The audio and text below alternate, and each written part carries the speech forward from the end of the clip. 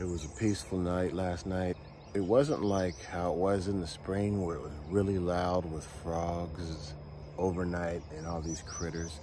Uh, and not that that was a problem before, it, it was just a distraction on the first night last time we came. This time there wasn't, it, it was quiet last night. It was peaceful. And we all just settled down and went to sleep. I'm up first. I think everybody else is still asleep. So let me go back and see if everybody's up yet.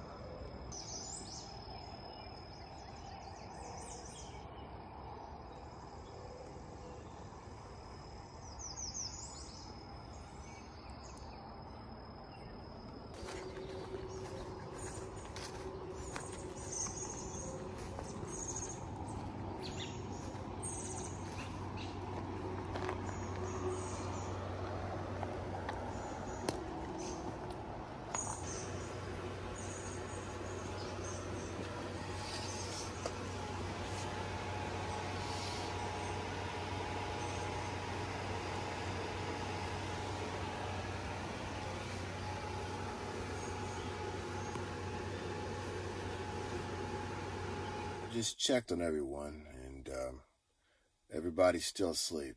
I guess I'll just chill out here in the van and relax. I don't wake anybody up. And then, um, once everybody's up, then I guess we'll get something to eat.